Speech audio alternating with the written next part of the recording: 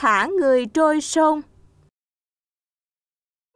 Ngày xưa, ngày xưa, sông Hành Dương là vùng sông nước nổi tiếng. Không chỉ có nhiều quả ngon, trái ngọt, mà còn là vùng đất có nhiều những mỹ nhân tuyệt sắc. Nổi tiếng hơn cả, vừa tròn 18 tuổi, là một cô gái thông minh lại xinh đẹp. Cô Thi Bình, ừ, tôi uh, có món quà muốn tặng cô. Ồ, anh, anh Lục Xuân khéo tay quá. Sao có thể khắc hình cô gái dễ thương như vậy? Ai, lụa gấm thượng hạng đây. Lụa cao cấp, mỏng nhẹ như cánh hồng. Mặc mùa đông thì ấm, mùa hè thì mát. À, chị Chính Thám, có mang cúc gấm đỏ cho tôi không? Lụa đẹp, phải dành cho người đẹp mới xứng. À, chỉ có nàng mới xứng mặc những tấm vải này thôi. Không có cô gái nào có thể so được với vẻ kiêu diễm của nàng hết. Một người đẹp tuyệt mỹ như nàng Thi Bình Phải xứng với những thứ gấm phốc hảo hạng nhất trên đời này. Mà mình thì lại chỉ là một kẻ buôn nghèo.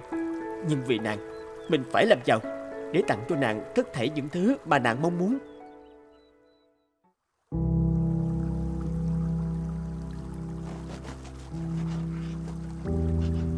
À, Cha nhà nói Con đã phải lòng tiểu thư Thi Bình. Ừ, ừ Cha ừ, ừ, Cha đã biết rồi sao?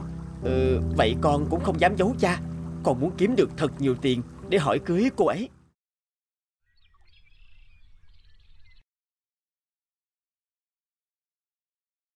Hôn nhân đại sự là chuyện cả đời của con cái.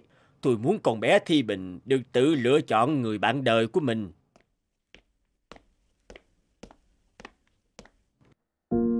Thi Bình Có điều gì con cứ thẳng thắn nói khi nào anh Lục Xuân đây thành đạt Thì con sẽ đồng ý cưới gả về nhà họ Lục. Vâng, một năm sau cháu sẽ quay lại. Nhất định lúc ấy sẽ gây dựng được sự nghiệp Xứng đáng làm chồng của Thi Bình ạ. À.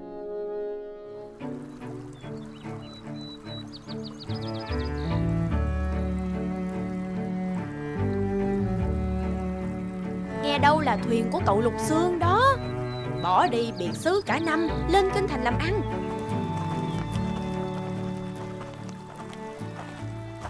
Thi Bình Này ta đã quay lại đây. Ta giờ đã gây dựng được sự nghiệp. Gia đình ta và nàng đã một đàn hộ đối. Nàng ưng thuận làm vợ ta chứ. Bây giờ chàng trở về Sự nghiệp được rỡ Coi như công thành. Ờ, Vậy nhưng Chừng nào chàng danh toại Đủ đạt làm quan Thì hãy quay về tìm thiếp. Ờ Thi Thi Bình Nàng nói sao? Nhất định ta phải đủ công thành danh toại Mới có thể cưới nàng ư? Ừ, Dạ vâng. Lục Sương à Không phải ta không Ta không thương mến chàng đâu. Nhưng nếu lấy một người chồng trọc phố Không có trình độ học vấn gì Chẳng phải Sẽ là trò cười cho thiên hạ. Công tử gia bảo đó Vừa giàu có Lại vừa có gia thế hiển hách. Ta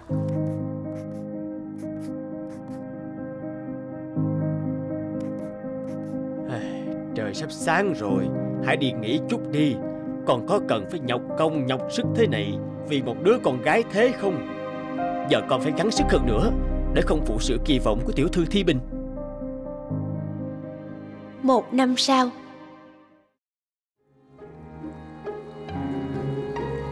Kỳ thi năm nay Sĩ tử Lục Xương đã đổ Trạng Nguyên Với số điểm tuyệt đối. Trạng Nguyên là một người tài hoa, tinh anh Nay nhà vua cho về bái tổ vinh quy. Công tử Ngài làm gì vậy? Đã bao lần ta đến hỏi cưới nàng. Nàng đều từ chối. Hóa ra nàng đã có người khác trong lòng ư. Nhưng Lục Sương Liệu hắn có xứng với một người hoàn hảo như nàng không? Thì Bình Những điều nàng mong muốn Ta đều đã thực hiện. Nàng bằng lòng làm vợ ta chứ. Tấm chân tình của chàng Em xin ghi nhận. Chỉ có điều Thi Bình. Chuyện gì có thể ngăn cản chúng ta thành vợ Thành chồng chứ? À, Còn Còn xuất thân của chàng vốn Vốn, vốn bần hàng Em Trời ơi Thi Bình ơi là Thi Bình. Vậy mà. Hey, Lục Xuân lại đi theo đuổi nàng tiểu thư Thi Bình đóng đánh làm gì? Tình yêu của ta dành cho Thi Bình. Bị nàng ấy năm lần bảy lượt chà đạp Ta không còn lý do gì để sống trên đời này nữa. Lục Sơn Lục Sơn chàng ơi Cũng chỉ vì em quá tham lam Quá ích kỷ. Đứng núi này trong núi nọ Sao chàng nỡ bỏ em mà đi?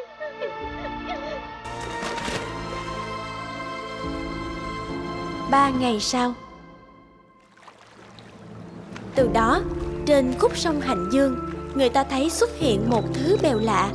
Người ta nói đó là hồn của tiểu thư Thi Bình tìm đến Lục Xương Và gọi thứ bèo đó là Lục Bình Để nhắc về một bi tình sử, Mối tình đau thương của chàng Lục Xương và nàng Thi Bình. Cổ quan tài thủy tinh. Xưa có anh thợ may nghèo, Tính tình dễ thương và tốt bụng. Anh đi hành nghề khắp mọi nơi. Tới cánh rừng rộng bao la kia, Vì không biết đường nên anh bị lạc. Bóng đêm rủ xuống khắp cánh rừng, Giữa chốn hoang vu lạnh lẽo ấy, Anh chỉ còn cách cố tìm lấy một chỗ trú thân. Đêm tối quá, Khu rừng này nhỏ có thú dữ Thì mình cũng bỏ mạng. Có lẽ mình ngủ tạm ở bãi cỏ này, Tới mai sẽ tìm đường đi tiếp.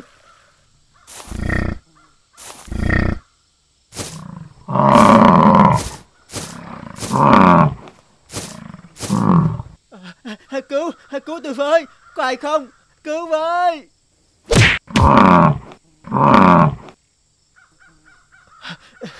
Cảm ơn chú Hưu đã cứu mạng. Trời ơi Thả tôi ra! Vậy là chẳng nói chẳng rằng Chú Hu xốc anh thợ may lên cặp sừng của mình Và lao đi vung vút.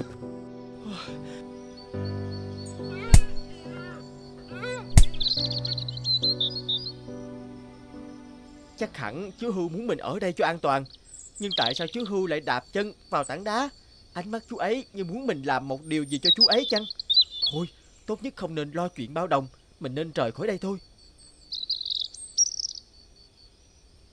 Ờ, nhưng biết đâu có người bị nạn ở quanh đây Và chú Hưu muốn mình giúp đỡ. Thật kỳ lạ Sao lại có một căn hầm lớn đến vậy Ở nơi hoang vu như này chứ?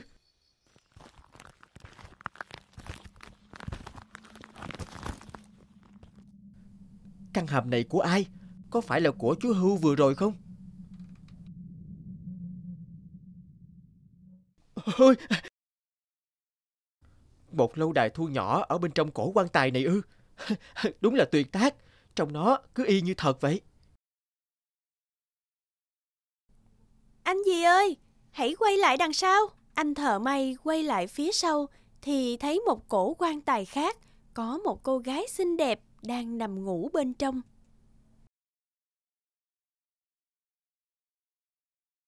Ôi, nàng à, nàng là ai? Ờ, nàng còn sống ư? Chàng đừng sợ, mau mau giúp em ra khỏi ngục này. Chỉ cần chàng tháo chốt quan tài là giải thoát được cho em. Nhưng nàng là ai? Chàng hãy giúp em ra khỏi đây, em sẽ kể cho chàng nghe mọi chuyện.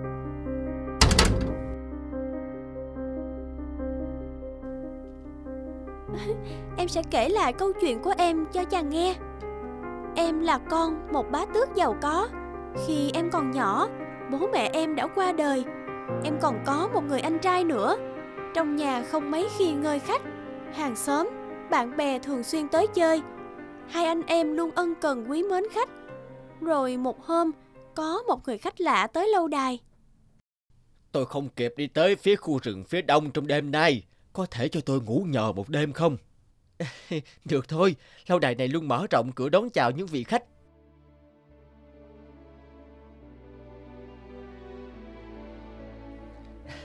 ông cứ tự nhiên coi đây như nhà của mình.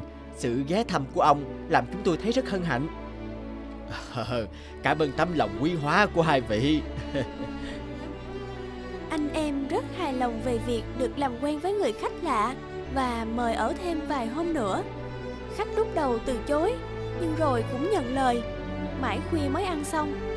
Khách được đưa về phòng, lúc ấy em cũng thấm mệt, đặt người lên giường đệm là thiếp ngủ ngay. Em vừa mới thiêu thiêu ngủ thì tiếng nhạc du dương quyến rũ làm cho em tỉnh dậy. Ôi, sao ông vào được đây? Tôi đã khóa cửa phòng mình rồi cơ mà.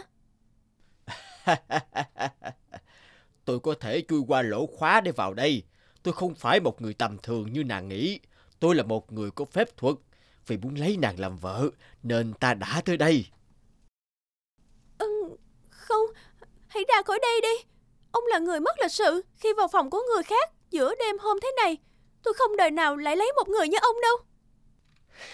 cô thật là kiêu kỳ. Cô làm tôi mất mặt rồi đấy. Khá lắm. Tôi sẽ trả thù cô vì dám từ chối tôi.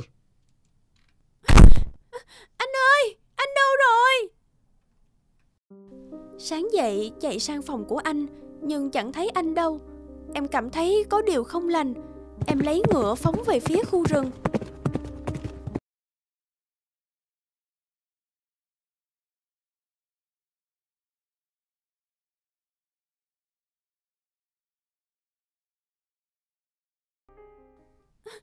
Anh trai của tôi đâu? Người đã làm gì anh ấy rồi? Con hưu này chính là anh trai của người đấy.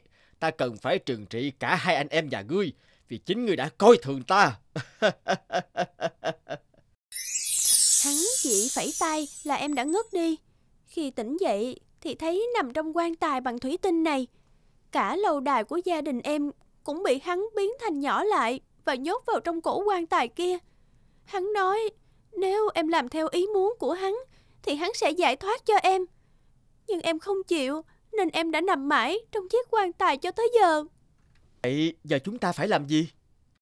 Trong những ngày ở đây, em biết là hắn thường ngồi vào viên gạch ở giữa nhà kia thì mọi thứ sẽ lên được mặt đất và trở lại bình thường. Vậy giờ chúng ta hãy cùng cổ quan tài kia ra khỏi đây thôi.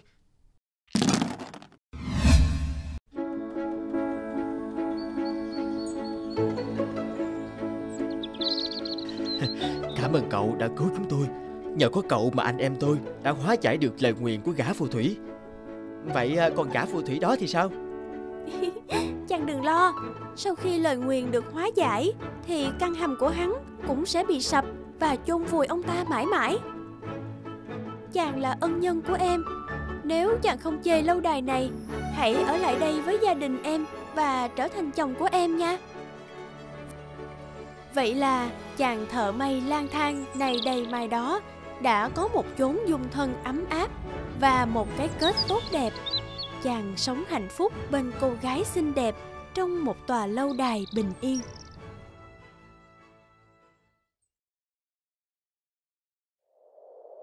Sự tích nọc độc của loài rắn Khi tạo hóa mới sinh ra muôn loài sống trên trần gian, rắn cũng chỉ là một loài vật thông thường không đáng sợ. Nhưng rắn vốn tinh khôn nên nó đã nhận ra rằng các loài vật sinh ra đều có một thứ vũ khí để tự vệ. Còn nó thì chẳng có thứ gì. Một hôm, chúng triệu tập một cuộc họp bàn cách làm sao cho loài rắn có uy quyền. Các bạn thân mến, cuộc họp hôm nay của chúng ta mục đích là xây dựng uy quyền cho họ nhà rắn chúng ta. Các bạn thử nghĩ xem, hiện nay các loài vật đều có vũ khí tự vệ. Voi có ngà, cọp có vuốt, trâu có sừng, còn chúng ta thì chẳng có gì cả. Chúng ta nên cử một đại biểu lên xin vũ khí với vua trời. Phải, phải, phải có vũ khí mới tồn tại được anh em ạ. À. Nên tôi đề nghị cử anh Trăng làm đại biểu vì Trăng to khỏe, có thể đủ sức đi lên trời. Ờ, ờ, ờ ai nói gì Trăng đấy? Cả họ nhà ta đang định nhờ anh Trăng lên trời một chuyến. Chỉ có anh là to khỏe, đủ sức lên trời Xin vua trời ban cho chúng ta vũ khí để chống lại kẻ địch. À đúng đúng, anh Trăng vừa to khỏe vừa sang trọng. Đại diện cho chúng ta đi gặp vua trời là đúng rồi. À, Được được, cứ để đó cho ta. Ờ, Nhưng mà giữa đường gặp bọn thú dữ thì ta biết làm sao. Anh Trăng yên tâm, họ nhà rắn chúng ta ở khắp mọi nơi anh qua sẽ tìm cách đánh lạc hướng thú dữ để anh đi đường bình an. À, à, à, à, à thế thì được.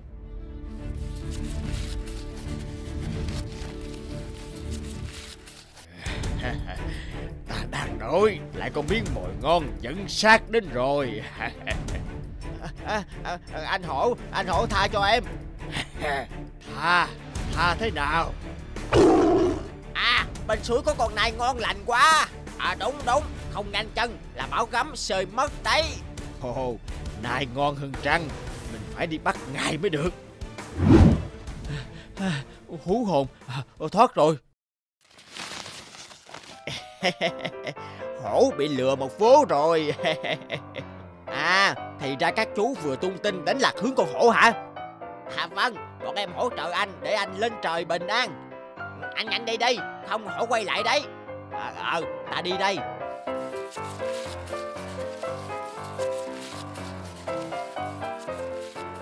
Chà Làm sao mà vượt qua được cái hồ này đây? Anh Trăng ơi Chúng tôi làm đường cho anh đây. Anh bò lên đây.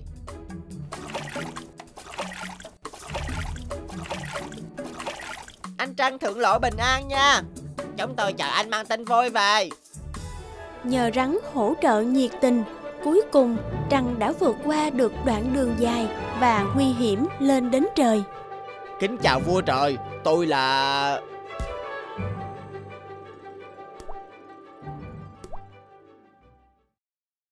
Ta đã theo dõi chuyến đi của Trăng rồi. Ta thấy Trăng quyết tâm và cũng thương loài rắn yếu đuối, nên cũng muốn ban cho rắn một thứ vũ khí rất mạnh, như sừng, như ngà, như răng nanh, nhưng mọi thứ đều đã hết cả.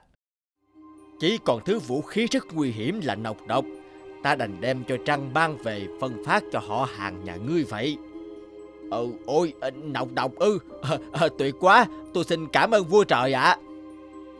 Trăng kia, Bây giờ ngươi đã có nọc độc trong người làm vũ khí để tự vệ. Khi nhà ngươi cắn ai là kẻ đó chết ngay. Nhưng mà ngươi phải coi chừng, không được vì thế mà làm điều ngang ngược, trái với đạo lý nghe chưa? À, tạ ơn vua trời, tôi nhớ rồi ạ. À. Tinh Trăng đã trở về với kết quả mỹ mãn làm nức lòng loài rắn. Chúng kéo hàng đàn theo Trăng đòi chia phần nọc độc. Anh Trăng ơi, cho em xin nọc độc nào. Anh Trăng ơi cho em nhiều nhiều vào Anh cho tôi trước đi anh Trăng Ta muốn giữ riêng cho mình vũ khí Để tất cả các loài rắn phải phục tùng ta Anh Trăng ơi cho em xin độc độc nào Anh Trăng ơi cho em xin nhiều nhiều vào. À, Cho tôi trước đi anh Trăng Thôi đi Ta đã phải trải qua bao nhiêu hiểm trở khó nhọc Mới đem được độc độc về. Còn chúng bay thì an nhàn vui sướng ở nhà Chúng bay chẳng làm gì cả Lại muốn có vũ khí. Biết điều hãy cút đi Nếu không ta sẽ phun độc độc cho chết hết cả đấy. Trời ơi anh Trang nói gì vậy? Chẳng lẽ anh đã quên chúng tôi hỗ trợ anh ra sao rồi ư? Hey, Ta chẳng nhớ gì cả Đàn rắn vẫn kiên nhẫn bám theo Trăng Đòi cho Kỳ được nọc độc. Trăng trở mặt rồi. Để ta nghĩ cách Không thể để Trăng độc chiếm vũ khí Vua trời ban cho chúng ta được. Cuối cùng cũng đuổi được chúng đi Mình phải làm một giấc mới được.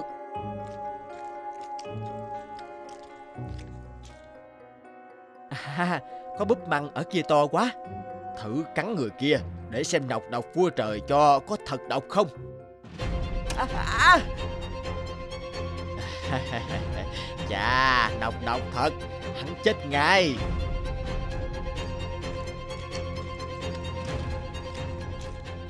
Ờ, ờ, có phải anh ười làng mình không nhỉ?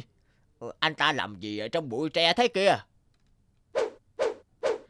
Anh ta ra hiệu cho chúng ta đi trước đi kìa. Ừ, ừ, chắc anh ta đang đặt bẫy thú nên phải ra hiệu không là đánh động đến bọn thú. Hả? Con người kia không chết thì ra nọc độc trời cho chẳng có tác dụng gì cả. Để trong người vừa nặng lại vừa bị bọn rắn sinh sỏ thì bực mình. Thôi, nhả hết ra cho rảnh nợ. Thế là từ đó, loài rắn đã có nọc độc là vũ khí của riêng mình. Trong số các loài rắn thì rắn nước nuốt được nhiều nọc độc nhất, nhưng khi xuống nước, nó súc miệng phun bớt nọc độc ra ngoài. Nọc độc tan vào nước, dính vào ngạnh cá trê và cá ngạnh. Do đó mà ngạnh các con này đều có nọc độc. Riêng trăng thì nhả hết nọc độc nên ngày nay nó là con vật không nguy hiểm mặc dù thân xác rất to hạt lúa vàng, đức vua và người hành khất. Ngày xưa, ngày xưa, có một người hành khất vô cùng nghèo khó. Nghèo đến nỗi ông không nhớ nổi mình đã làm nghề hành khất từ bao giờ. Ngày ngày, ông lang thang qua những thị trấn, những ngôi làng, bất cứ đâu mà ông có thể xin được chút gì bỏ bụng. Có những ngày số tiền mà ông xin được chẳng đủ để mua được một ổ bánh mì. Một ngày nọ, ngồi cả ngày mà không được gì, trong khi trời đã sầm tối. Ông lặng lẽ rời đi tìm cho mình một chỗ trú qua đêm và bất ngờ lạc đến một ngôi đền cũ không người qua lại. Ngôi đền cũ kỹ quá, mình phải dọn dẹp qua rồi mới ngủ được. Cả ngày nay chả xin được gì, mệt quá đi mất. Ước gì à, ngày mai sẽ khá khẩm hơn. Nghĩ vậy, người hành khất liền sắn tay lên dọn dẹp, đồng thời phủi qua lớp bụi bám dày trên những bức tượng. Dọn dẹp xong, ông lập tức lăn ra ngủ. Trong cơn mơ, ông thấy một người đàn ông khắp người phát ánh hào quang từ từ tiến về phía mình. Cảm ơn ông đã giúp ta dọn dẹp ngôi đền. Đã lâu lắm rồi à, không có ai tới dọn dẹp nơi này. Ờ, ông ờ, ông là ai thế? Ta là chủ nhân của ngôi đền này. Để trả ơn ông, ta sẽ tặng ông một món quà đặc biệt. Sao cơ? Ông là chúa ngôi đền à? Ờ, vậy ra ông là thần linh rồi. Ờ, ngài hả? Ngài còn muốn tặng quà cho ta sao? Lâu lắm rồi mới có một người có lòng tới đây dọn dẹp giúp ta. Ta phải trả ơn ông xứng đáng. Đó chỉ là chuyện nhỏ thôi Nhưng nếu ngài thực sự cho ta một món quà đặc biệt Thì uh, quả thật là tốt quá rồi Ngày mai tỉnh dậy, Ông hãy đi thẳng về hướng Tây, Sẽ tìm thấy một bao lúa lớn. Hãy tặng nó cho bất kỳ ai ngửa tay xin ông nha, Rồi ông sẽ được báo đáp xứng đáng thôi. Ông khoan đã, Người đi đâu mất rồi? Thần linh báo mộng cho ta chăng? Ta chẳng qua chỉ là muốn dọn chỗ ngủ thôi mà. Thôi kệ, Thần đã cho quà thì ta cứ nhận thôi. Không biết món quà mà vị thần định cho ta là gì đây? Thật là hồi hộp quá đi mất. Sáng sớm hôm sau Người hành khất theo lời chỉ dẫn Đi thẳng về hướng Tây Hóa ra không phải là mơ Đúng là có bao lúa ở đây thật Thật không ngờ thần linh ở ngôi đền đó linh thế Ta chỉ tiện tay dọn dẹp một chút cho ngôi đền thôi mà lại được thần mách bảo cho dịp may như vậy. Ừ, thật đúng là ở hiền gặp lành mà. Tốt quá rồi, số lúa này đủ để mình no bụng cả tháng. Cảm ơn thần linh đã giúp đỡ. Đây đúng thật là một món quà lớn. Ông ơi, ông có thể chia cho cháu một ít lúa được không ạ? Đã hai hôm nay cháu không có gì vào bụng rồi. Cháu, cháu đói quá. Không được, đây là lương thực của ta trong một tháng đấy cho cháu rồi à, ta sẽ chẳng còn đủ gạo mà ăn nữa ừ, Dù sao cũng là ông nhặt được mà Ông chia cho cháu một ít với Em cháu cũng phải nhịn đói mấy ngày nay rồi Bố mẹ cháu đều đã mất chỉ có hai anh em cháu cùng đi xin ăn thôi ông ơi. Hãy tặng nó cho bất kỳ ai ngửa tay xin ông nha. Rồi ông sẽ gặp được báo đáp xứng đáng thôi. Không được. Đối khác bầu lâu mới được quà trời cho. Bây giờ mang tặng thì ta còn cái gì? Ta cũng phải đi xin ăn như thằng bé này Chứ có khá khẩm gì hơn đâu. Trẻ con thì hay được người ta thương xót cho nhiều ấy chứ. Thằng bé là giả bộ nghèo đói với ta đi mà. Nhặt được thì sao chứ? Ta thấy trước thì nó là của ta. Không phải tự nhiên mà ta biết ở đây có bao lúa này đâu nha. Là thần linh đã báo mộng cho ta đấy. Là thần linh muốn trả ơn cho ta. Ờ mà thôi Con nói chắc cũng không hiểu đâu.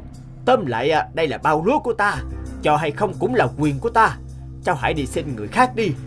Ừ, Cháu xin ông. Ông cho cháu một chút thôi cũng được ạ. À.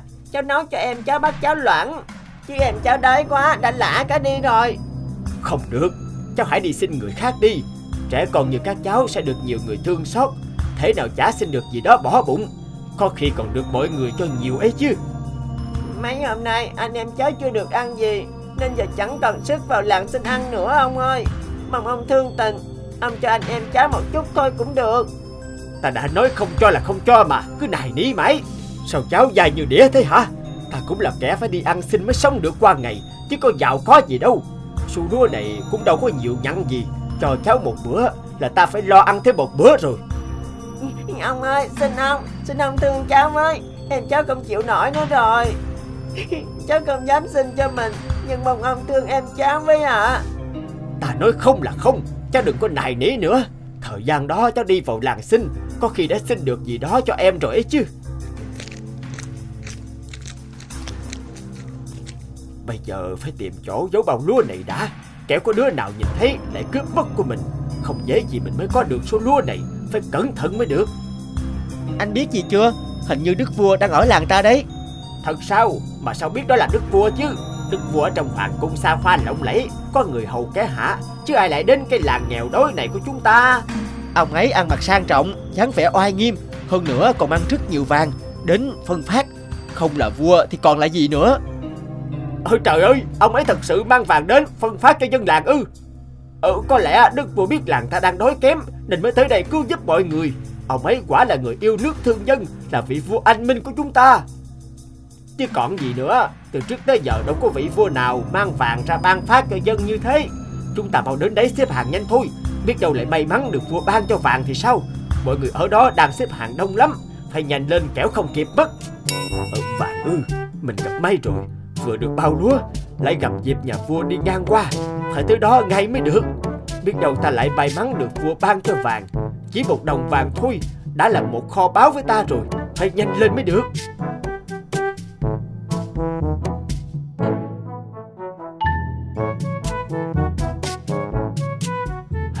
Bao lúa nặng làm ta chậm trễ quá. Thế này đến lượt ta thì phát hết vàng mất.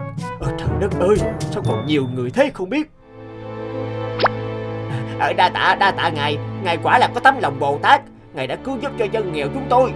Hãy sử dụng số vàng đúng cách Để từ một nén vàng trở thành 10 nén vàng. Hoặc nếu không thì dùng nó làm của cải tích lũy phòng thân. Chứ tuyệt đối không được dùng vàng Làm những chuyện vô ích. Có như vậy thì mới không phụ tấm lòng tặng vàng của ta ngày hôm nay. Ờ dạ tôi xin nghe theo lời ngài. Tuyệt đối không dám phung phí số vàng này đâu ạ. À. Đa tạ ngài. Người dân trong làng cũng sẽ cảm tạ tấm lòng từ bi của ngài. Ngài nhất định sẽ nhận được nhiều phúc báo. Được rồi Ông hãy mau về đi Để tới lượt những người khác nữa. Từng nén vàng lần lượt được cho đi. Hồng vàng cứ thế vơi đi đáng kể Mà hàng người thì vẫn dài vô tận Khiến người hành khất đứng ngồi không yên. Cuối cùng cũng đến mình rồi May quá. Chờ suốt từ nãy đến giờ cũng có cơ hội được vua ban vàng rồi Cả đời ta chưa bao giờ có được một nén vàng như vậy. Nén vàng đó có thể mua được bao nhiêu lúa chứ? Có lẽ sẽ đủ cho ta ăn trong vài năm ấy chứ. Thôi ngài Chỉ còn một nén vàng duy nhất thôi ạ. À. Vậy sao? Ta mang theo nhiều như vậy Mà chỉ một tháng đã hết rồi ư. Ừ, Sao? Đợi mãi mới tới nơi Mà chỉ còn một nén. Thế thì ta trắng tay rồi. Trời ơi là trời. Nếu ta biết tin sớm hơn Thì ta đã đến xếp hàng từ sớm rồi phải không cũng tại khi nãy ta cứ lằng nhằng với thằng bé đó, Và phát theo bao lúa nặng quá, Nên mới đến muộn như vậy. Vậy thì đành phát nốt nén vàng cuối cùng này thôi. Lần sau chúng ta sẽ lại tới nữa, Và sẽ mang theo nhiều vàng hơn. Người dân vùng này còn nghèo khó lắm. Dạ vâng ạ. À. Sao cơ? Ờ, vậy là nhà vua sẽ chỉ phát nốt một thỏi vàng này thôi ư? Ờ, vậy là ờ, Vậy là không đến lượt mình rồi. Không được. Ta không thể bỏ lỡ cơ hội này được à, à, à, Ông làm cái gì đấy Sao lại xô cháu chứ? Vừa nãy mi còn ngang hàng với ta. Sao giờ lại chen lên trước chứ? Định cướp vàng đúng không? Không đúng. Rõ ràng cháu đứng trước ông kia mà. Ngay từ đầu cháu đã đứng ở đây rồi. Cháu không thể chen lên trước được. Rõ ràng là cháu đã tới trước ông mà. Đúng vậy. Chúng tôi làm chứng là cậu bé này tới trước ông. Ông không thể chen lên trước như vậy được. Thật chẳng ra làm sao cả. Chắc là ông nghe thấy hết vàng Nên mới muốn chen lên chứ gì Không được đâu nha. Nén vàng này phải là của cậu bé này. Các người Các người. Ông đã có một bao lúa to rồi còn gì. Thế mà giờ ông còn muốn tranh của cháu nữa. Mì nói gì chứ? Ta tranh gì của mi? Ờ ta Ta đã đến trước. Rõ ràng cháu đến trước mà. Mọi người cũng đã làm chứng cho cháu rồi. Tại sao ông còn nói là ông tới trước chứ? Khi nãy ông đã không cho cháu lúa Thì cũng thôi đi. Giờ ông còn muốn lấy cả vàng của cháu nữa sao Ông không có vàng cũng đã có bao lúa đó rồi. Cháu chỉ có thể lấy vàng này Đi mua đồ ăn cho em cháu mà thôi. Ông đừng tham lam đến thế chứ. Mi là ai mà ta phải cho chứ? Lúa là quà mà thần linh báo mộng tặng cho ta. Ta không thể cho ai hết. Nếu là ta xin thì có được cho không? Ờ, ờ, ờ, Ngài đang đùa hay sao? Ngài nhiều tiền như vậy Sao lại cần lúa này của ta làm gì? Tuy ta có rất nhiều tiền Nhưng ta cũng vẫn cần lúa gạo để ăn. Vậy ông có sẵn lòng cho ta một chút không à, Ngài à, ngài đừng đùa cợt ta nữa. À, Người như ngài muốn gì có nấy. Nếu ngài đói có thể tùy ý ăn sơn hào hái vị Một chút lúa của ta có đáng là cái gì đâu? Ta không đùa. Ngươi có thể bố thí cho ta không? Bao nhiêu tùy ở ngươi? Nhà vua hỏi xin Làm sao ta có thể từ chối được? Đúng là xui xẻo. Người có nhiều tiền của như vậy Mà lại đi xin một chút lúa của kẻ ăn bậy như ta.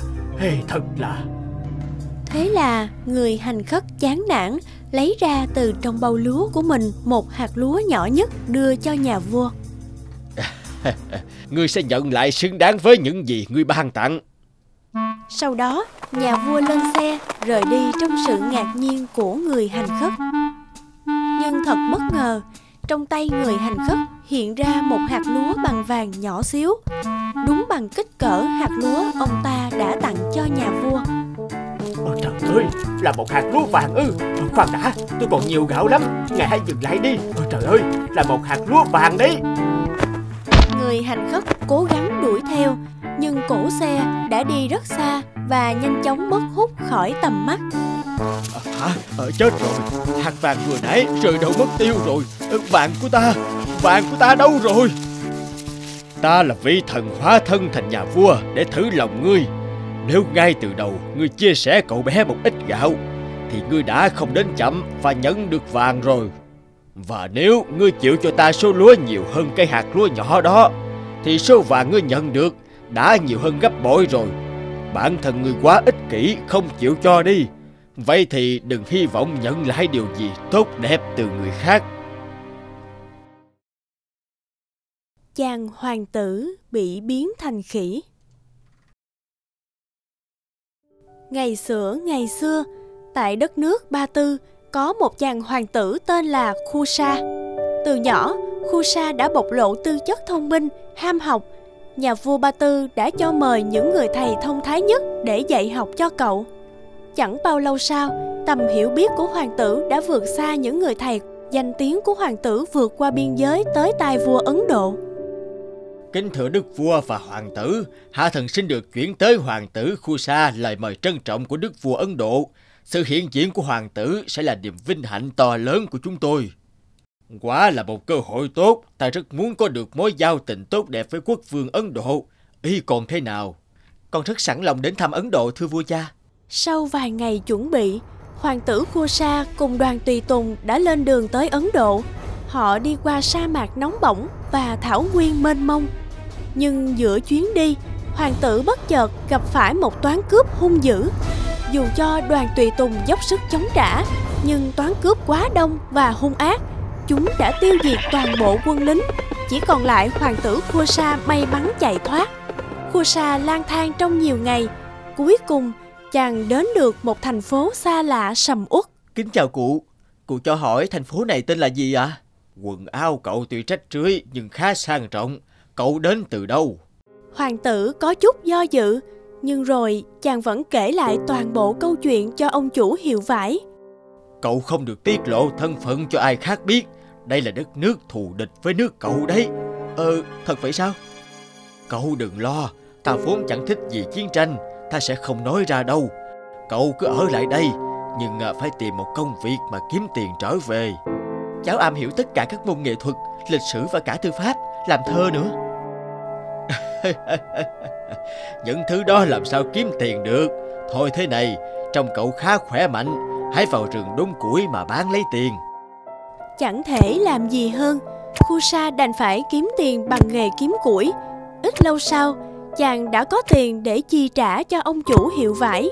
Một ngày nọ Khi đang gom củi trở về Bỗng nhiên Khu sa nhìn thấy một vật hình tròn phát sáng. Khi lại gần xem xét chàng phát hiện ra hình tròn đó là cái chốt nắm của một nắp hầm. Chàng bèn kéo nắp lên và đi xuống bên dưới. Sao lại có tòa lâu đài kim cương tráng lệ như này ở dưới một nắp hầm nhỉ? Một cô gái đẹp tuyệt trần. À, ngươi là ai? Sao có thể vào được khu vườn khủng khiếp này? Ta là hoàng tử Khua Sa, đến từ nước Ba Tư. Xin hỏi nàng là ai? Và tại sao khu vườn này lại khủng khiếp đến thế? Ta thấy nó rất đẹp mà. Tôi là con gái của quốc vương Harit. Gã hung thần Kata đã bắt cóc rồi ép tôi làm vợ, nhưng mà tôi không chịu. Hắn nói sẽ nhốt tôi ở đây suốt đời. Tôi rất nhớ vua cha, nhưng mỗi khi tôi tìm cách bỏ trốn là hắn lập tức xuất hiện. Tôi hiểu nỗi buồn của công chúa Tôi cũng là một hoàng tử lưu lạc đến đây Tôi tin là chúng ta sẽ tìm được cách trở về thôi Sau ngày gặp mặt, Khu Sa thường xuyên tới thăm công chúa, kể cho nàng nghe những câu chuyện thú vị. Công chúa vô cùng bất ngờ trước sự hiểu biết của hoàng tử và đã dành cho chàng một tình cảm đặc biệt. Con người hèn hạ kia Mới là kẻ nào Sao mi dám xuất hiện ở đây Anh ta chỉ là một người đốn củi đi lạc vào đây thôi. Hãy thả anh ấy ra đi. Cô cũng không thoát tội đâu Sao cô dám để hắn ta tự tiện vào đây Người muốn trừng phạt thả trút lên ta thôi Công chúa không có tội gì hết Được lắm. Ta sẽ biến ngươi thành khí, Ngươi sẽ phải sống và nhìn cô ta sống trong tâm tối cả cuộc đời.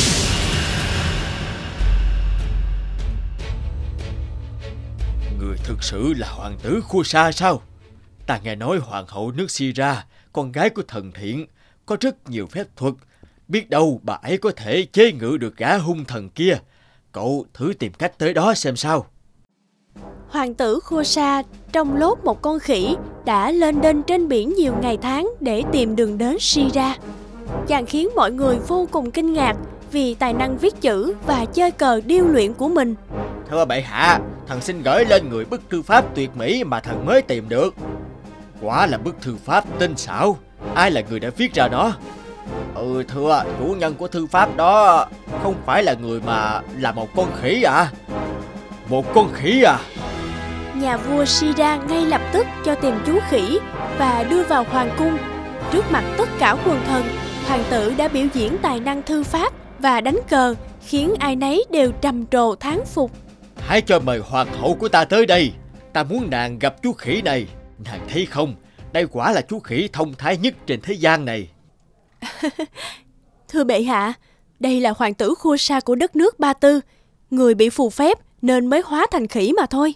Ừ thật như vậy sao Hoàng hậu lập tức vẽ vòng tròn phép xung quanh hoàng tử khua sa và dặn dò chàng không được ra khỏi vòng phép. Sao người dám hóa giải bùa phép cho hắn Tên hung thần gian ác kia, ngươi đã làm quá nhiều chuyện xấu xa rồi. Hãy đầu hàng đi. Không bao giờ À, à. Tạ ơn hoàng hậu đã cứu giúp Xin người hãy cho tôi một ơn huệ này Hãy cứu công chúa Harriet Nàng đang bị cầm tù trong bóng tối Được, hoàng tử hãy chờ ta. Sau khi được cứu thoát, công chúa cùng hoàng tử từ biệt vua và hoàng hậu Sira rồi trở về Ba Tư. Họ sát nhập lại hai vương quốc làm một và chung sống hạnh phúc suốt đời. Con gái thần đảo Ngày xưa, ngày xưa, ở một ngôi làng gần biển, có hai mẹ con nhà nọ sống với nhau. Tuy cuộc sống còn nhiều khó khăn, nhưng hai mẹ con sống với nhau rất hạnh phúc. Thường ngày, hai mẹ con lên thuyền ra khơi để đánh bắt cá, kiếm sống qua ngày. Ôi không, mẹ ơi, mẹ nhìn kìa. Thứ gì, thứ gì đáng sợ vậy mẹ ơi. Là một cơn bão lốc, sao nó lại xuất hiện ở đây? Thời tiết đang rất tốt mà. Tại sao ngay lập tức lại có bão được chứ? Vào trong nhanh, la la. Chỉ trong chốc lát, cơn bão tuyết đã nhấn chìm con thuyền của hai mẹ con. Những mảnh vỡ của thuyền xô vào một hòn đảo gần đó. Và cũng thật may mắn khi cô bé La La bé nhỏ vẫn còn sống. Cô giặt vào một hòn đảo, còn mẹ cô bé không được may mắn như vậy. Và càng may mắn hơn khi La La được vị thần đảo cứu vớt và cu mang. Thấy cô bé đáng thương, thần đảo quyết định mang cô bé về nuôi. Kể từ đó, cô bé La La đáng thương sống trên hòn đảo hoang vắng đó và gọi thần đảo là người mẹ thứ hai.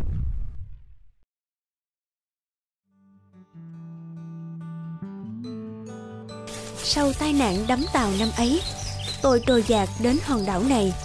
Tôi đã mất hết tất cả, từ người mẹ yêu dấu đến cuộc sống ở đất liền hiện đại. Nhưng sau tất cả, tôi vẫn cảm ơn cuộc đời vì đã mang đến cho tôi một người mẹ thứ hai.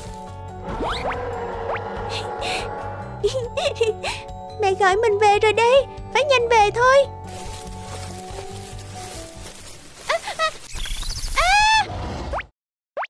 Mẹ là vị thần coi giữ hòn đảo xinh đẹp này Và có lẽ mẹ chẳng nói chuyện bao giờ Thần đảo, là người trông có vẻ đáng sợ lại ít nói Mà thực ra là bà chẳng nói chuyện bao giờ Nếu có ai đó nhìn vào sẽ nghĩ mẹ thật là khó chịu Chắc hẳn là một người rất ghê gớm và khó gần lắm. Nhưng không, ở thần đảo luôn có một sự ấm áp đến kỳ lạ. Nó khiến La La vơi bớt nỗi đau, mất mát Cũng khiến cô không còn cô đơn, lạc lõng Khi phải ở một hòn đảo xa lạ. Con con không bị sao mà chỉ là bị trượt chân thôi. Mẹ ơi mẹ đừng giận. Con con đâu có la cà đâu. Con con đi hái hoa tặng mẹ mà. Nghe được câu nói và hiểu tấm lòng của la la thần đảo ngoài mặt có vẻ không vui nhưng bà quay người đi mà nở một nụ cười tươi rói.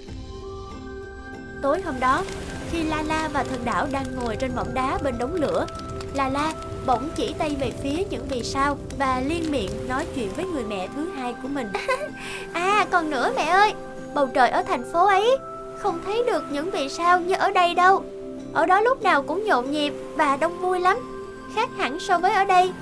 Tuy không ồn ào, náo nhiệt Nhưng đôi lúc lại im ắng đến trầm buồn mẹ à.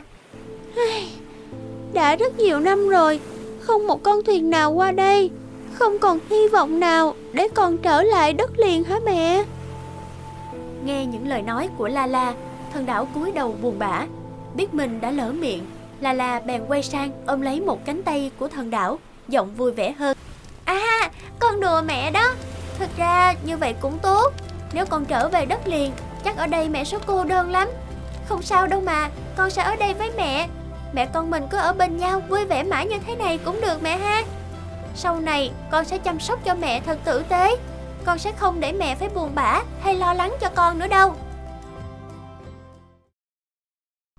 Sáng hôm sau, khi La La vừa mới ngủ dậy Bỗng cô nghe thấy một tiếng gầm lớn từ bên ngoài vọng vào Nghe kỹ, La La nhận ra đó là tiếng gầm dài của thần đảo Người mẹ thứ hai của mình Hả?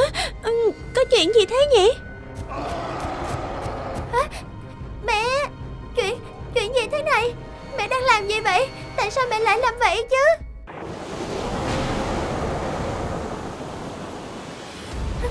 Không Không phải như vậy Dừng tay lại, Mẹ đừng làm vậy mà, Mẹ ơi, Dừng lại đi.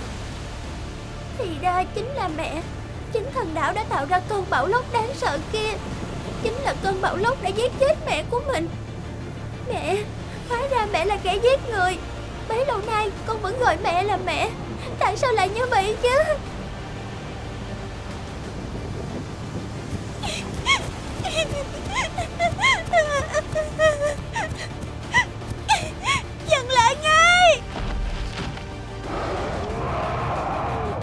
Ôi, thoát rồi Thoát rồi. Ờ thoát rồi Thoát rồi. Mẹ, Tại sao mẹ lại làm như vậy chứ? Mẹ có biết con chưa bao giờ quên con bão lốc đáng sợ 7 năm về trước đã giết chết mẹ ruột của con, Đã giam cầm con ở hòn đảo này. Nhiều đêm con nằm mơ thấy ác mộng, Con thấy mẹ của con đang giơ tay cầu cứu Mà con không thể làm gì được. Con tuyệt vọng Tuyệt vọng lắm, Mẹ có biết không? Mẹ có biết trên thuyền kia có bao nhiêu con người hay không? Tại sao người lại nhẫn tâm giết chết bọn họ? Cũng sẽ có những đứa trẻ, Những bà mẹ phải mất mạng nơi đây Vì sự độc ác của người. Tại sao Tại sao mẹ lại làm như vậy? Mẹ định biến những đứa trẻ đó Thành La La thứ hai cô độc, Không có mẹ như con sao? Mặt La La khóc lóc và buộc tội. Thần đạo lắc đầu như muốn từ chối những cáo buộc của La La Bà gầm lên một tiếng yếu ớt như muốn níu kéo Nhưng La La không chấp nhận. Con đã tận mắt nhìn thấy hết tất cả. Người không thể tiếp tục lừa dối con nữa đâu. Con sẽ trở về đất liền Nơi vốn thuộc về con. Con không thể ở cạnh kẻ đã giết chết mẹ của con được. Người sẽ phải cô đơn suốt đời Vì sự tàn ác của mình. Nói xong La La vụt chạy đi Cô tìm cách để về lại đất liền Để mặt thần đảo đứng nhìn theo đầy vẻ thất vọng. La La chạy ra bờ biển Cô đốt một đám lửa lớn Những mong có một con thuyền nào đó Có thể nhìn thấy và cứu cô. Và thật may mắn khi có một con thuyền đã phát hiện ra cột khói Mà La La đốt. Nào lên thuyền đi cháu bé. Trời ơi thật tội nghiệp. Chỉ có mình cháu bị lạc tới hòn đảo này ư. Chúng ta sẽ đưa cháu quay trở lại đất liền. Được cứu lên trên thuyền, La La hướng mắt nhìn về phía đảo. Và ở nơi ấy, thần đảo cũng đang đứng nhìn về La La với vẻ buồn rầu tha thiết. Con không bao giờ muốn gặp lại người. Mọi người thấy không? Tàu chúng ta đang gặp bão lốc lớn ở ngoài kia. Vừa đi đến gần đảo này thì lại xuất hiện một cơn bão lốc khác. Điều đặc biệt là hai cơn bão lốc như đang đánh quật nhau Nhân cơ hội đó ta đã bẻ lái Cuối cùng cũng thoát ra được Tôi còn tưởng tất cả chúng ta sẽ mất mạng. Quả thật là điều kỳ diệu. Hòn đảo này nên gọi là đảo hy vọng, mọi người nhỉ? ờ, ờ, Chuyện gì vậy Ôi, ôi, ôi, ôi không, ôi, cô gái ban nãy, à, cô ấy đã nhảy xuống nước rồi. Mẹ ơi, con xin lỗi. Con đã trách nhầm mẹ rồi. Con đã nói với mẹ những lời cay đắng.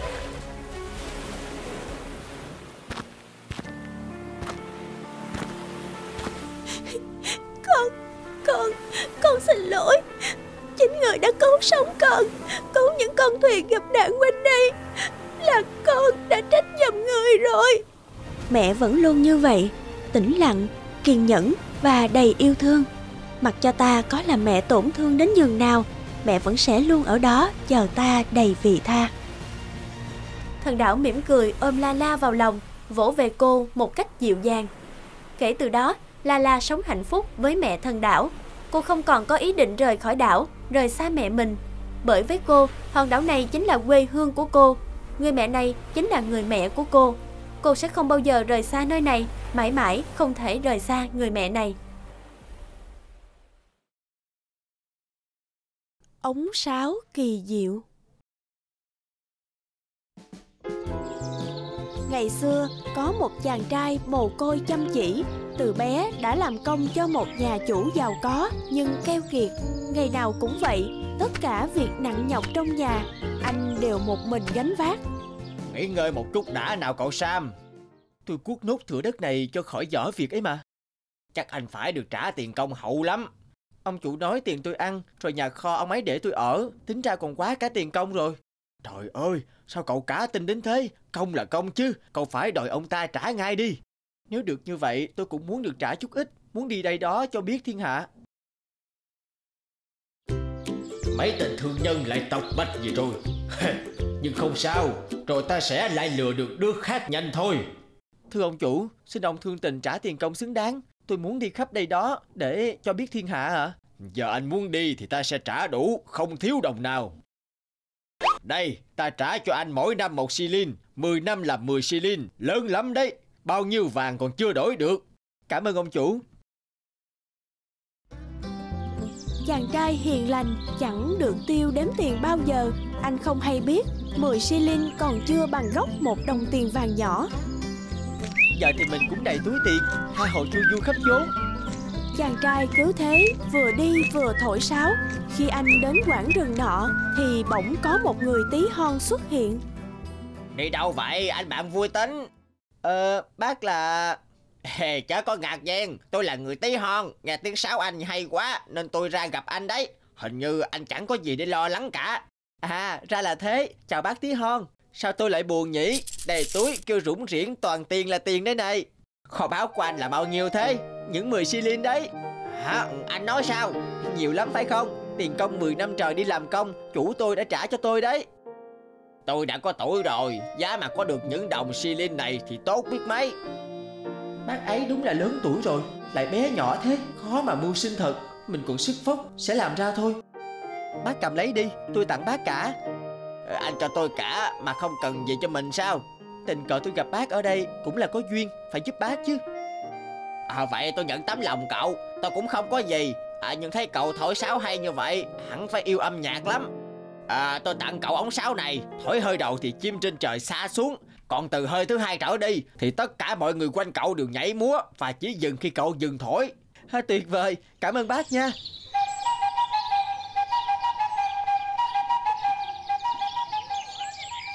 Kỳ diệu quá. Tôi tin là anh không chỉ sống tốt Mà sẽ giúp đỡ được nhiều người khác.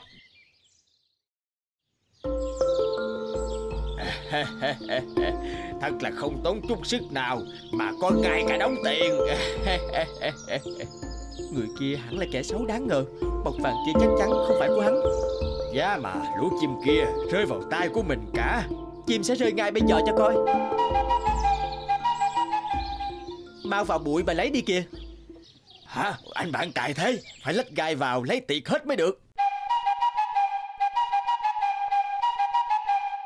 Sáo càng thổi càng du dương Kẻ đáng ngờ mà chàng trai gặp càng nhảy không ngừng. Gai kéo níu rách hết áo quần Đâm tê tái khắp người hắn. À, à, à, Xin đừng thổi nữa. À, Dừng lại mau lên. À, Đừng thổi nữa. Ngươi không phải người tốt đẹp gì Để gai đâm cho ngươi nhớ đời. À, à, Ôi trời ơi à, Xin tha cho tôi. À, Tôi xin nộp túi vàng này. À, à.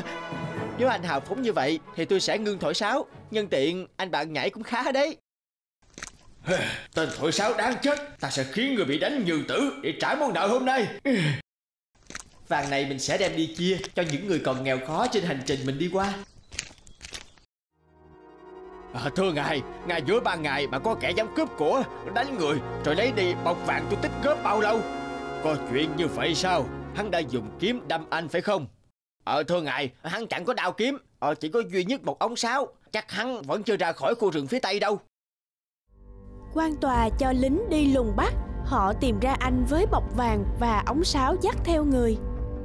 Chính hắn nói nếu tôi ngừng thổi sáo hắn sẽ cho tôi túi tiền. Có trời chứng giám kẻ nói dối. Ngừng thổi sáo mà lại được bọc vàng to thế kia thì ta ngừng nói luôn cũng được. Đem treo cổ không thể dung tha. Dám động vào ta giờ thì mày được thưởng xứng công nha xin cho tôi được nói một nguyện vọng trước khi chết nguyện vọng của kẻ sắp lìa đời ta đều sẽ đáp ứng. Tôi chỉ xin được thổi ống sáo của mình lần cuối. À, thưa quan tòa, không được để nó thổi sáo. Tại sao lại không cho nó được hưởng giây phút thỏa nguyện? Mau đặt sáo lên cho nó thổi đi. Ôi trời đất, ai đó hãy trói tôi lại. Tiếng sáo du dương vừa mới vang lên thì tất thảy mọi người đều nhảy loạn xạ. Tên lính giữ dây trói chàng trai cũng buông dây mà nhảy. À, à, à, Dừng lại ngay cho ta.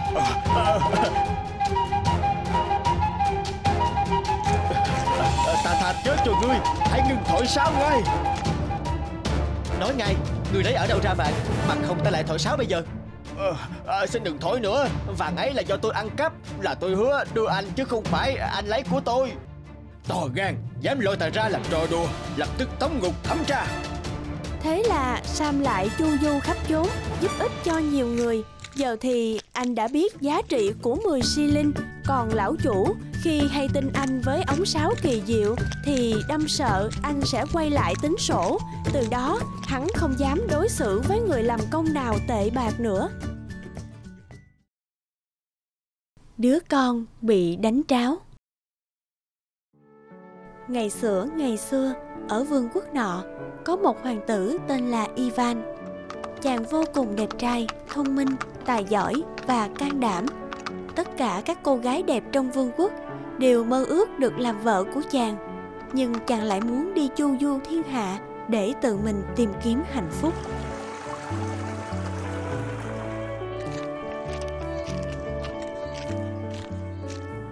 Ôi, ở lâu đài này có hai nàng tiên thật xinh đẹp Họ là ai thế Không biết có phải là chủ nhân nơi đây không Mình phải tạm tránh đi xem sao đã Em đã nghe nói đến chàng hoàng tử Ivan đẹp trai và tài giỏi xuất chúng của vương quốc chúng ta chưa nào? Chàng không chỉ khôi ngô tuấn tú, thông minh hơn người, lại vô cùng rộng lượng, nhân từ. Chàng Ivan đối xử rất tốt với tất cả những người trong hoàng cung và dân chúng xung quanh. Đương nhiên là em biết hoàng tử Ivan rồi chị. Có ai mà không biết đến danh tính của chàng ấy? Thật đáng để người ta ngưỡng mộ.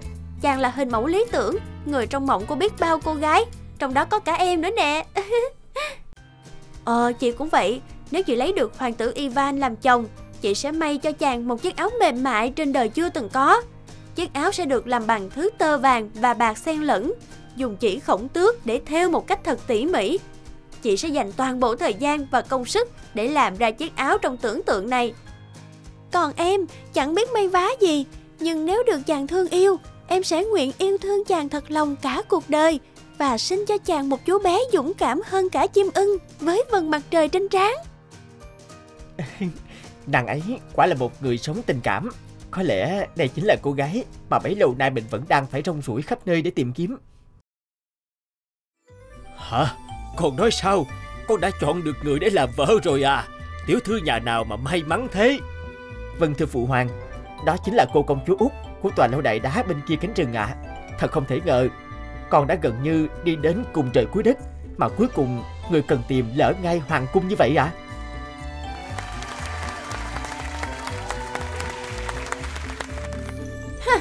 Sao số nó lại may mắn thế?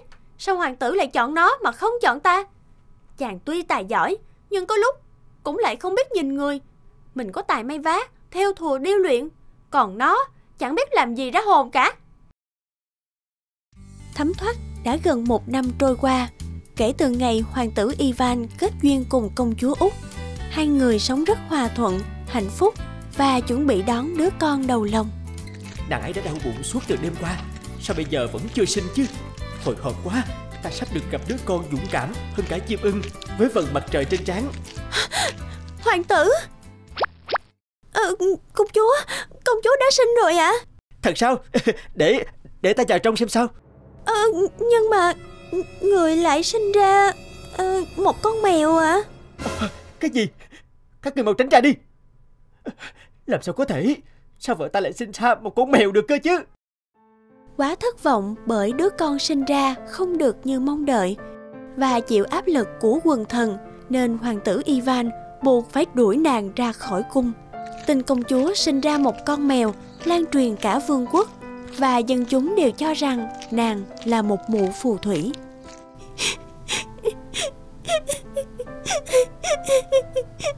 Hỡi cô gái xinh đẹp Sao cháu lại ngồi đây mà khóc một mình vậy hả? Bà ơi, cháu là vợ của hoàng tử Ivan. Cháu vừa sinh em bé, nhưng không hiểu sao mọi người nói cháu sinh ra con mèo, cho cháu là phù thủy, cho nên đuổi cháu ra khỏi cung. Cháu... Ừ, ta đã hiểu rồi. Âu cũng là số phận của con. Con cứ đi về phía nam, con sẽ đạt được như ý muốn. Đừng bỏ cuộc, rồi con sẽ tìm được cách để giải oan cho mình thôi. Ơ, bà ơi, bà đâu rồi? Cháu còn chưa hiểu gì cả.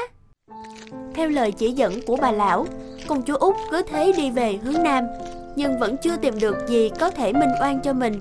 Nàng đi mãi suốt mấy tháng trời ròng rã và cuối cùng kiệt sức ngất bên một con suối.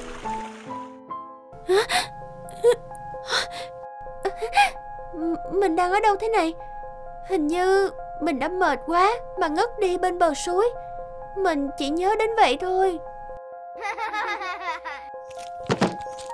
Mình vừa nghe thấy Là tiếng cười của trẻ con sao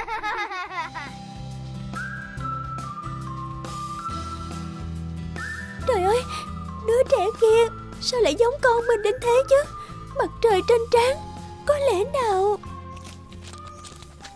Ừ, cháu chào ông ạ. À. Cô tỉnh rồi à? Tôi thấy cô bị ngất ở suối nên đưa cô về đây. Cô đã ngủ ly bì nhiều ngày nay rồi đó. Chắc cô mệt lắm. À, dạ cảm ơn ông vì đã cứu cháu. Ờ, đứa trẻ này là ai vậy ạ? À? Cháu trai của ông sao? À, đứa trẻ này bị bỏ rơi trong rừng khi vừa mới sinh ra nên ta đem nó về nuôi. Thằng bé này lúc tôi tìm thấy vẫn còn đỏ hỏn Tuy lúc ấy nó đang nhăn mặt khóc oe oe trong tả Nhưng đã lộ rõ vầng trán cao và thông minh Ai, Không biết bố mẹ nó là ai Mà lại nỡ lòng mang con nhỏ tới rừng Rồi bỏ mặt mà đi như thế Ờ thế, thế sao? Họ không để lại lời nhắn nào hay sao ạ? À? Biết đâu chúng ta có thể có manh mối nào đó Để tìm ra cha mẹ cho thằng bé Nhưng nó không phải là một đứa trẻ tầm thường Cô có tin không khi tôi nói nó mới được 3 tháng tuổi Từ lúc tôi mang nó về nuôi Nó lớn nhanh như thổi vậy Hả? 3 tháng tuổi sao? Thằng bé lớn và kháo khỉnh Y như một đứa bé 3 tuổi vậy Thật kỳ lạ Nếu tính từ lúc sinh đến giờ Con trai của mình chắc cũng được 3 tháng rồi Đây chính là đứa con trai mà con sinh ra Rồi bị người ta mang mèo đến để đánh tráo Nhằm hại con đó Mau nhận lại con của mình đi con đã vượt qua một quãng đường xa, vô cùng vất vả. Cuối cùng, sự kiên trì của con cũng được đền đáp. Ôi thật thế sao ạ? Dạ con cảm ơn bà đã giúp con tìm lại con của mình. Ôi con trai của mẹ Mau lại đây. Cho mẹ được ôm con Ngắm con thật nhiều nha. Vậy là ta đã hoàn thành xong nhiệm vụ của mình rồi. Hai mẹ con hãy mau trở về hoàng cung Giành lại những thứ thuộc về mình đi. Ờ ông ơi Bà ơi ông lão ấy đâu rồi Kẻ hại con chính là người thay thế vị trí của con bây giờ đó. Con ngựa này sẽ đưa con về cung ngay lập tức. Ông lão đó thực ra chính là con ngựa quý của ta. Ta sai nó tới đây để chăm sóc hoàng tử bị bỏ rơi của con mà thôi. Đi đi con, nhanh còn kịp đó. À, Vậy là có kẻ rắp tâm đánh tráo con của mình.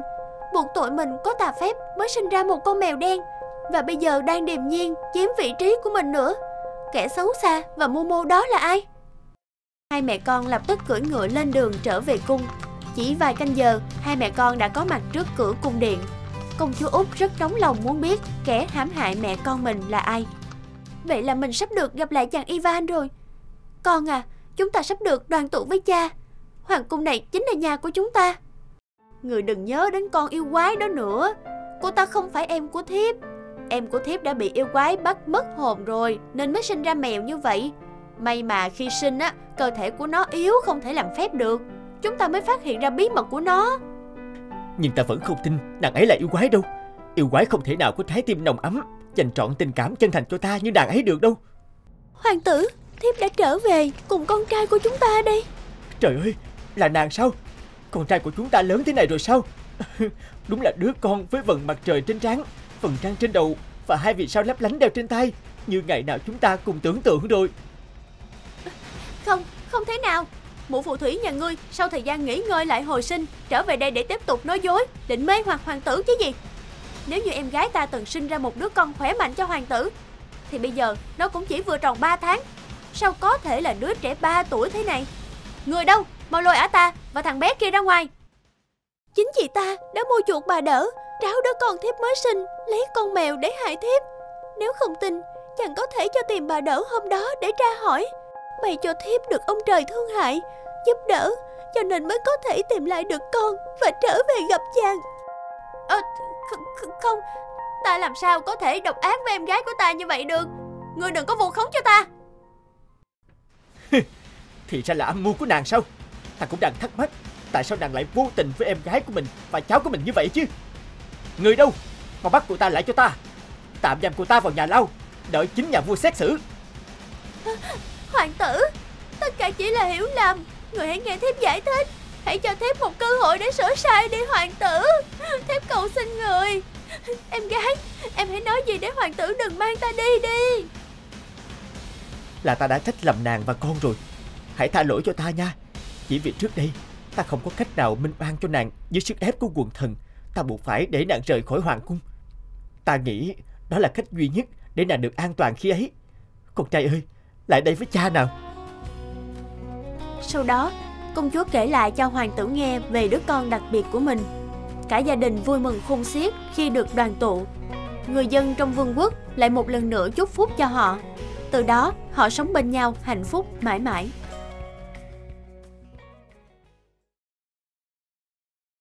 Người đưa thư thiên đường Điều gì còn lại khi một người không còn sống trên cuộc đời này nữa? Bồ công anh vẫn nở khi mùa xuân đến và hạt hoa vẫn bay khắp bầu trời vào những chiều hè như thế này. Còn người đã khuất sẽ chìm vào quên lãng. Có phải như thế không? Tôi muốn hỏi ba tôi điều đó. Chắc chắn ba tôi sẽ có câu trả lời bởi vì ba tôi là một nhà nghiên cứu và ông có câu trả lời cho mọi câu hỏi.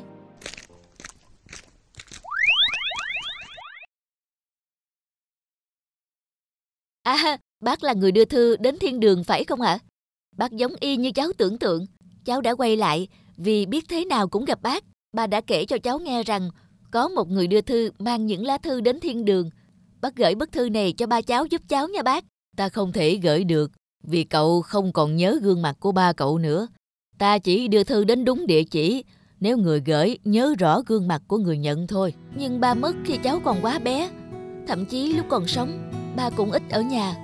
Khi đứng trước những lựa chọn của cuộc sống, cháu ước giá như có ba chỉ cho cháu.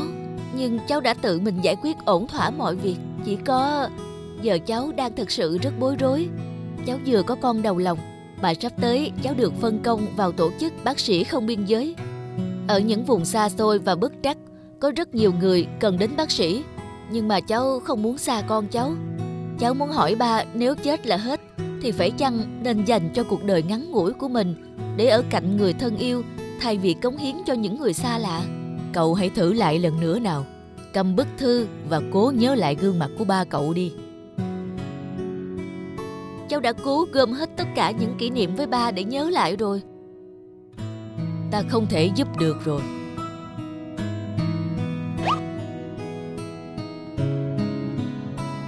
Này, này, cậu kia, đồ của cậu này, sao để bay mất thế? Những tấm vé này, nếu là cách đây 20 năm thì còn ý nghĩa. Ba đã mua và hứa sẽ đưa cháu đi, nhưng rồi ba không bao giờ về nữa. Thế nên giờ thì chúng nó vô ích rồi. Này, cậu có muốn đến nơi mà ba cậu đã hứa không? Hãy mua hai tấm vé mới và lên đường thôi. Ta sẽ đi cùng cậu. Bác nói thật à? Biết đâu ở đấy có điều gì đó gợi cho cậu nhớ về gương mặt của ba cậu. Cháu cảm ơn bác. Cậu thấy có gì quen không? Cháu chưa đến đây bao giờ, Duy phải không? Chú gọi cháu à? Cháu là Duy, con ba Hà phải không? Cháu giống ba như đúc, nhìn cái là chú nhận ra à? Thế hả chú? Ừ, cháu giống ba lắm à? Giống lắm. Ôi, cháu cười càng giống hơn nữa. Ba lúc nào cũng cười như thế. Chú quen ba cháu à?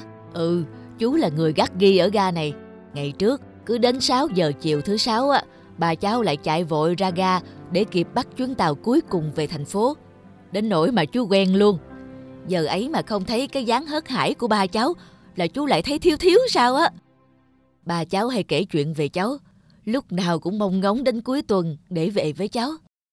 Nếu ba mong ở gần cháu đến thế, thì sao còn đi làm xa thế này? Cháu muốn đến thăm nơi ba cháu từng làm việc. Cháu chưa bao giờ hình dung ra ba cháu khi làm việc trông như thế nào. Để chú chỉ đường cho cháu nha. Dạ thôi ạ, à, cháu đã biết đường đến đó rồi. Cậu biết đường thật ư? Nếu đi theo mùi hương ngọc lan này sẽ đến nơi. Mẹ cháu kể ba rất thích hương ngọc lan. Ba từng nói dù đi đâu cũng muốn mang theo một cây ngọc lan. Vừa nhìn cháu là bác nhận ra ngay à. Con bà Hà không sai vào đâu được. Ba cháu luôn mong có ngày đưa cháu đến đây chơi. Thế mà cơn lũ đến bất ngờ quá. Ba đã không kịp thực hiện lời hứa ấy với cháu. Nhưng cháu rất vui vì ba đã được làm việc ở một nơi đẹp thế này. Không đâu cháu, ngày ba cháu đến, đây chỉ là một phòng thí nghiệm nhỏ. Chính tay ba cháu đã chăm chút từng ngày. Ba cháu trồng từng cây ngọc lan, sửa lại từng mái ngói. Ngày ấy, vùng này chỉ có đất cằn và cỏ dại. Ba cháu đã nghiên cứu và tìm mọi cách cải tạo đất, rồi đi khắp nơi tìm những giống lúa mới, những giống cây sai quả mang về đây. Ông xuống đồng cùng nông dân, cùng họ gieo hạt, cùng canh nắng canh mưa. Mỗi hoa thơm trái ngọt, từng mang những giọt mồ hôi của ba cháu. Ba ơi, công việc của ba thật đẹp. Bức thư này chắc không thể gửi đi được rồi, vì cháu vẫn không thể nhớ được gương mặt ba. Nhưng không sao đâu bác ạ, à. giờ cháu đã biết mình phải làm gì rồi. Chắc con trai cháu sau này sẽ hiểu cho quyết định của cháu lúc này. Cháu muốn viết cho ba cháu một lá thư khác, dù nó có đến được tay ba hay không. Ta sẽ đưa bức thư này đến tận tay ba cậu. Thật sao bác? Gương mặt một người đâu chỉ là hình dáng chính xác của đôi mắt, cánh mũi, khuôn miệng. Đó còn là ánh nhìn trong sáng lạc quan và nụ cười rạng rỡ nhân hậu. Ta sẽ hình dung ra gương mặt ba cậu như thế đấy. Sao bác có thể hình dung ra ạ? À? Những điều đó hiện hiển trên gương mặt của cậu. Ba cậu đã để lại cho cậu tất cả những điều tốt đẹp đó. Ánh nhìn trong sáng, lạc quan và nụ cười rạng rỡ nhân hậu. Cháu cũng sẽ để lại cho con trai cháu những điều đó bác ạ. À. Hãy like, comment, subscribe kênh để xem thêm những video mới nhất nhé.